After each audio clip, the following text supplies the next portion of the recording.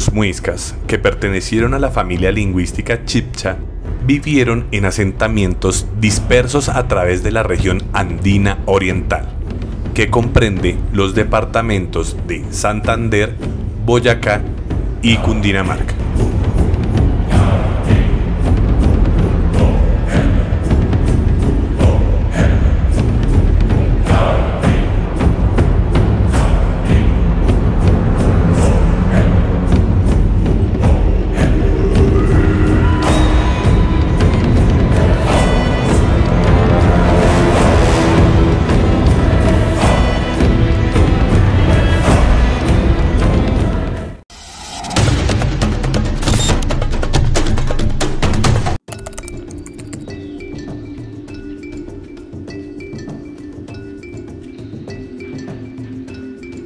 En el capítulo de hoy estaremos en uno de los más antiguos cementerios indígenas, hoy convertido en museo, el cual cuenta con la colección arqueológica más representativa de Colombia y uno de sus más importantes templos reconstruidos. Acompáñenos al Museo Suamox. Los españoles llamaron a sus habitantes muiscas porque era la palabra que más pronunciaban los chipchas, que en su idioma quiere decir persona. También les llamaban moscas porque eran muy numerosos.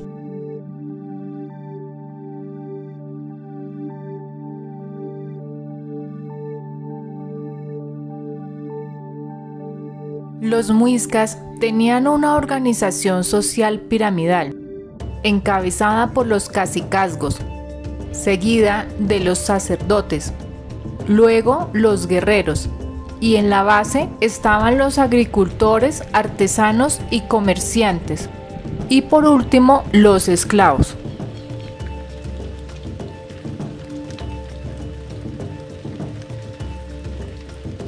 Se rigieron bajo un sistema gubernamental llamado la Confederación Muisca, es decir, se dividieron en cuatro unidades territoriales.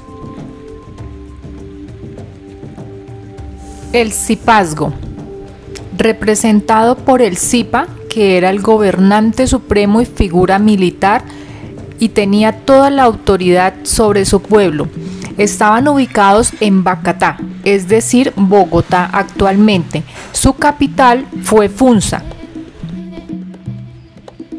El Sacazgo, que se ubicó en Unza, lo que hoy se conoce como Tunja, y su gobernante era el Saque y figura religiosa. Cacicazgo Sagrado de Tundama, que comprende actualmente el municipio de Duitama. Cacicazgo Sagrado de Iraca. Se ubicó específicamente en la provincia de Sugamuxi o lo que se conoce hoy como Sogamoso.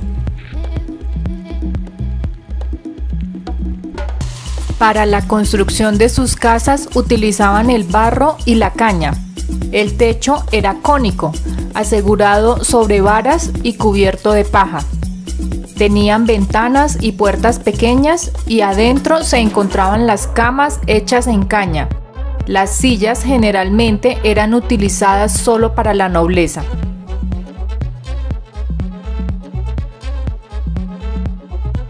Ejercían la minería de esmeraldas, cobre, carbón y sal. Practicaban el trueque, con otras tribus como los musos, panches y los guayupes. El oro lo obtenían por intercambio comercial y lo utilizaban como moneda.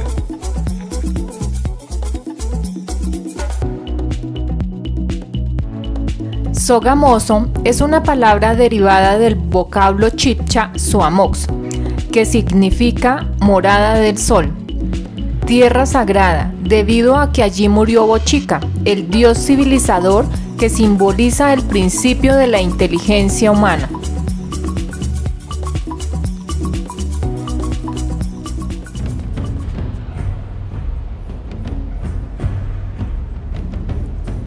El 4 de septiembre de 1537, un grupo de españoles al mando de Gonzalo Jiménez de Quesada arribó al Templo del Sol en busca del Dorado y provocó un incendio que consumió la construcción religiosa.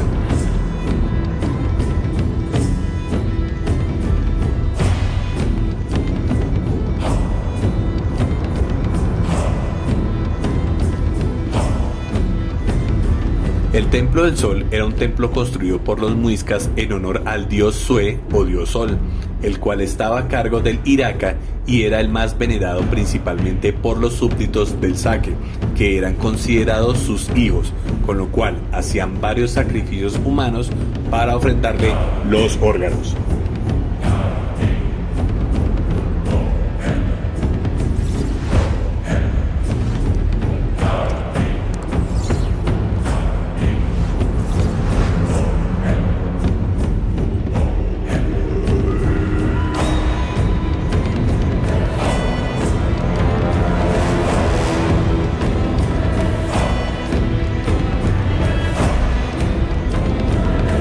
Los muiscas eran idólatras, adoraban al sol, a quien llamaban Sua, y a la luna, Chia. Consideraban sagrados los bosques, montes, cerros y plantas.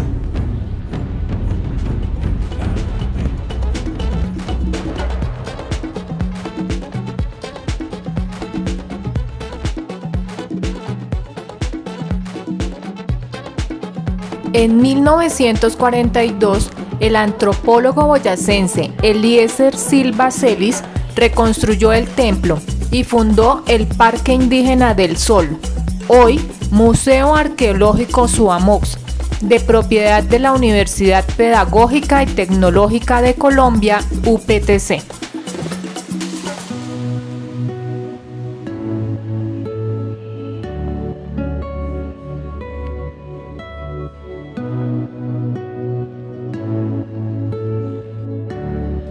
En el sitio existe el cementerio Muisca, donde se puede apreciar huesos en montones de tierra, cubiertos por piedra grande que sepultaban en posición fetal.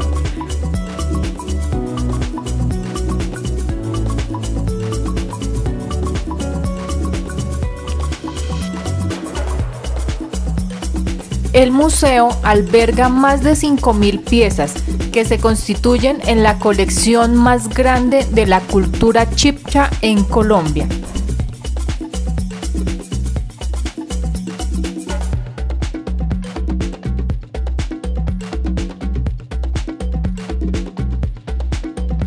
El establecimiento cuenta con dos hectáreas. Además de la colección, se puede observar una muestra de la paleontología colombiana y utensilios de otras tribus indígenas como los laches.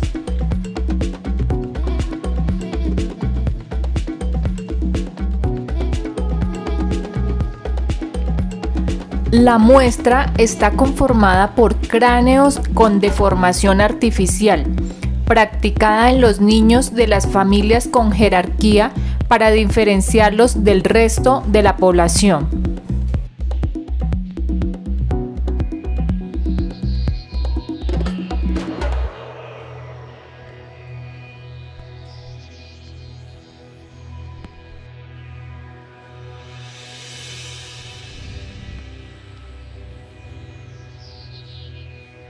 También hay objetos de cerámica, textiles y utensilios de piedra, madera y hueso, fragmentos óseos de mastodontes hallados en la cordillera oriental y fósiles petrificados de amonitas en otras piezas.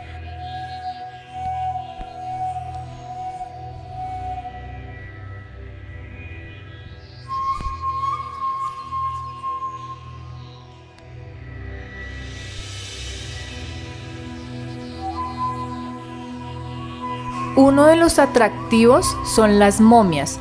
Una de ellas, al parecer, es la de un cacique de los muiscas.